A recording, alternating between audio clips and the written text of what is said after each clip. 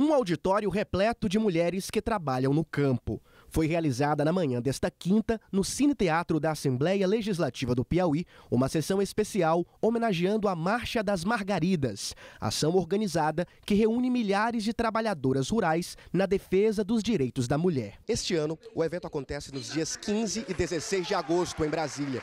Entre as principais bandeiras defendidas está a luta pela democracia, a igualdade salarial entre homens e mulheres e também uma maior participação feminina na política. Várias instituições, como a FETAG Piauí e o MST, estão se organizando para participar do evento.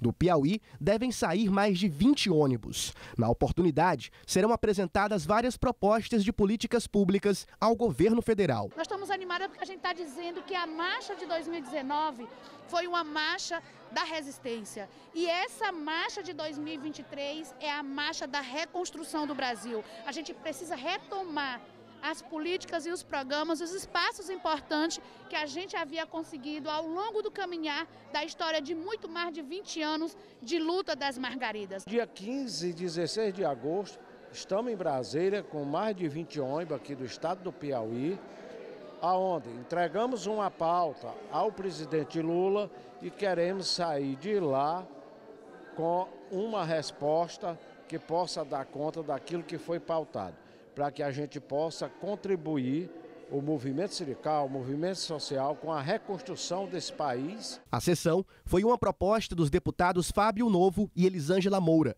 que destacam a importância das pautas defendidas. Esse ano a marcha tem como tema a reconstrução do Brasil pelo bem viver e temos uma pauta bem extensa de reivindicações de políticas públicas para as mulheres, principalmente garantir os direitos das mulheres do campo, das águas, das florestas, para que as mulheres possam ser incluídas aí no orçamento, aonde possa ter direito à previdência social, direito à saúde, à educação, direito a uma alimentação saudável, como também garantir ali o seu pedaço de terra para trabalhar e produzir e viver com sua família. Foi muito bom esse feedback hoje aqui, desse momento que nós recebemos as margaridas, é, para reafirmar é, as suas lutas e também assumirmos os compromissos de estarmos juntos com elas é, nessas lutas, defendendo essas bandeiras de que elas querem, que é nada mais e nada menos do que está escrito na nossa Constituição.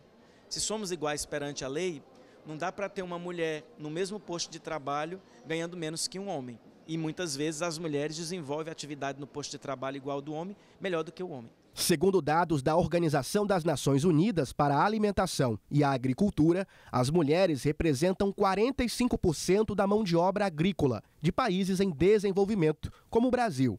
Porém, ainda existem muitas desigualdades a serem superadas.